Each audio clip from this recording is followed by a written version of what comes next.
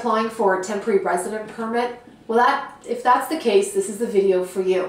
A temporary resident permit is exactly that. It's a temporary permit for you to overcome a inadmissibility. Most of our clients, when they contact us for a TRP, they're inadmissible due to some criminal uh, record. In order to apply for a temporary resident permit, there's two ways of doing so. Either we can submit the application at the consulate and wait the extensive processing times of about eight months, or we can attempt at the port of entry, hope uh, just considering that you actually have um, a visa to enter Canada or you come from a visa exempt country. So for example, if you're an American, you can attempt at the port of entry. And if you're an Indian national, if you don't have a TRV, then you would have to file um, at the consulate.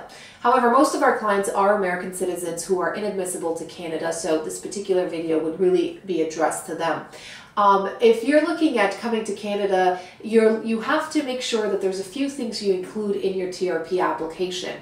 Not only the facts that the officers want, such as what is the criminality, what's the offense, what were you charged with, what were you convicted of, um, what did you have to complete? All of that facts needs to be included. But also you have to look at as to why you're trying to temporarily enter Canada. That piece of document is vital as well. If it's leisure, you have to demonstrate that you know you're coming to visit this person or this family member or you're coming for a fishing trip or whatever it is you have to provide documentation to demonstrate your intent in Canada. If it's business include employment uh, offer letter or a business visitor letter or some sort of indication that you are employed in, in the United States but you have to travel for business into Canada. In addition, you want to make sure that um, you put everything together and you file regardless if it's an immediate travel date to Canada, you file it to the consulate regardless. Meaning if you're still going to go to the port of entry to get an urgent TRP, before you travel, make sure you still file it at the consulate. And the reason why I recommend this is because when you go to the port of entry, the officer would want to see that you've taken necessary steps uh, to get a temporary resident permit at the consulate.